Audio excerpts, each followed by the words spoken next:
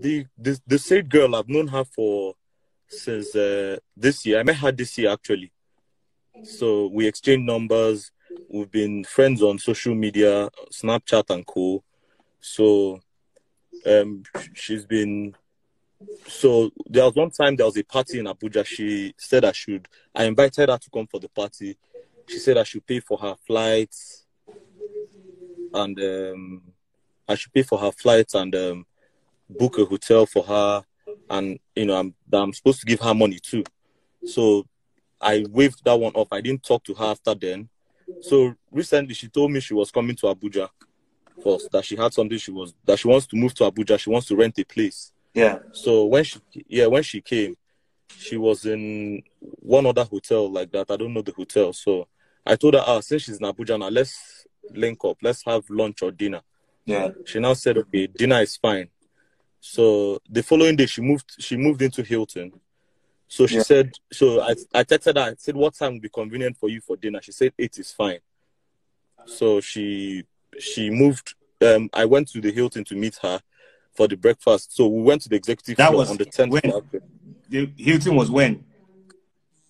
Hilton she moved to Hilton again day before yesterday. Okay. Yeah, so we went to we went to do the we went to um the executive floor for dinner. Okay. So yeah, so after dinner, we went down to the casino together. You know, she, I was playing casino. She said ah, she's interested too. I I put money for her. I told her to play. So in the process, her manager called her or something, so she left. So before then, I was telling her that Oh, her Yeah, manager, like what does she do? she's a she's a singer. Okay.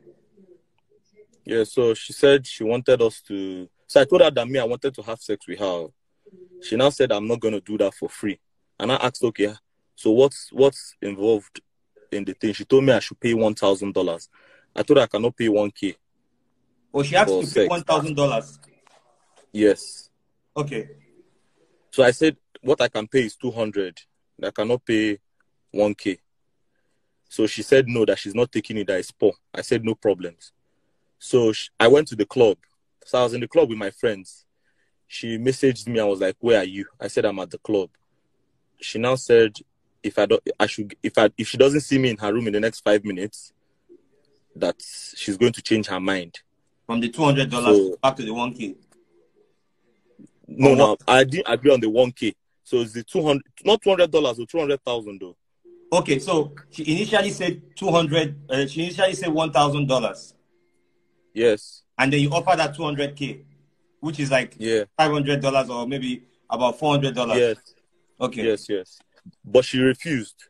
So I le- I left her. She left. She went back upstairs. So later she texted me and was like I should come to like I should get to the hotel in the next five minutes unless you change her mind. I was with my friends then. So I showed my friends. I was like, ah, see that girl, because my friends knew we we had dinner with my friends at the executive floor. Yeah. So my friends knew already what was going on. So I told them, ah, the girl said I should come for the 200 though. So I rushed. Had to drive, rush back to the hotel.